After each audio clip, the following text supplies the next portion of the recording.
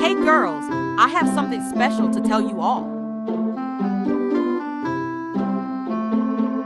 Tell us, Miss Rinka. Marie has resigned from the leadership. So we have to appoint a new leader. Oh. Then I can be the leader. Sorry, Osana. Principal has appointed Rina as the leader. Wait, where is she now? Hello everyone.